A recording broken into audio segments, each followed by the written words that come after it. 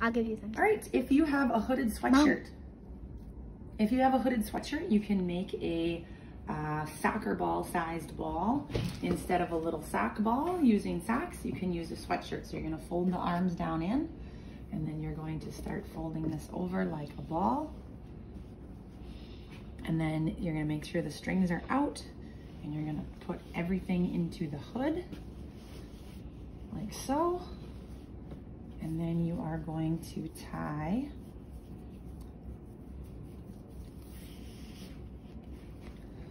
tie it up like so.